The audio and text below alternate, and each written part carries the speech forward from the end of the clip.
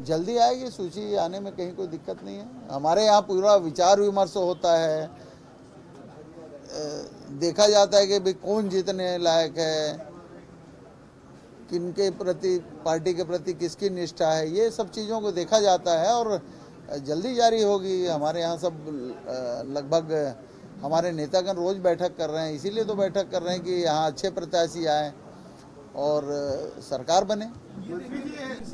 दे, देखिए अच्छी अच्छी बात है कि हमारे जो प्रत्याशी बनना चाहते हैं उन्होंने प्रचार प्रसार शुरू कर दिया है। तो पार्टी के प्रति कांग्रेस पार्टी के प्रति एक माहौल है जो आज लोगों में दिख रहा है। अच्छा तो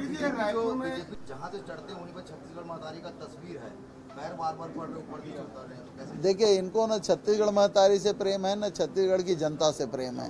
ये परिवर्तन यात्रा भी चुराया हुआ है। नाम तो हमारा है। हमारे नेता नंद कुमार पटेल जी ने परिवर्तन यात्रा निकाला था झीरम घाटी पे। उस पर हमला हुआ और हमारे सारे नेता मारे गए।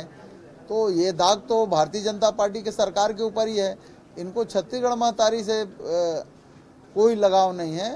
छत्तीसगढ़ महतारी के अंतर, उसके पेट में जो खजाना है, जो खनिज हैं लोहा है कोयला है हीरा है और पत्थर है ऐसे चीज़ों से उनको विशेष लगाव है। मंत्री जी लगातार होने लगी है। तेली बांधा क्षेत्र पूरा देखिए देखिए तेली बांधा के आगे जो ओवर ब्रिज बना हुआ है उसमें कुछ दिक्कतें हैं लेकिन पहले से अब दिक्कतें दूर हो गई। बहुत सारे नालों को स्वीकृति दी गई है लेकिन अकस्मात ज़्यादा पानी गिर जाता है तो कुछ जल भराव ज़रूर होता है लेकिन वो 10 15 20 मिनट में वो साफ़ भी हो जाता है। शहर के कुछ अधिकारी हैं लापरवाही कर निगम के क्या उस पर कुछ खबर लाई जाएगी? कई दुर्घटनाएँ कल देर रात हुई है लापरवाही कोई शिकायत आए तो उस पर ज़रूर कार्रवाई होगी। अगर उनकी संलिप्तता पाई जाती है किसी अधिकारी की तो निश्चित रूप से कार्रवाई होगी।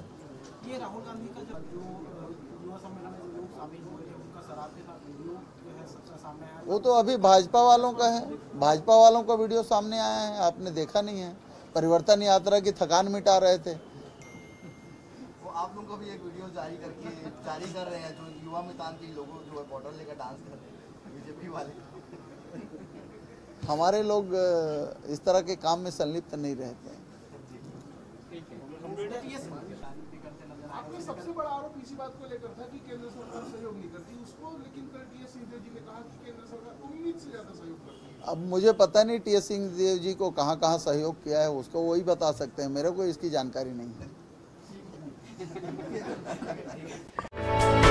For more news updates, do subscribe, like, share, and comment. Clipper 28.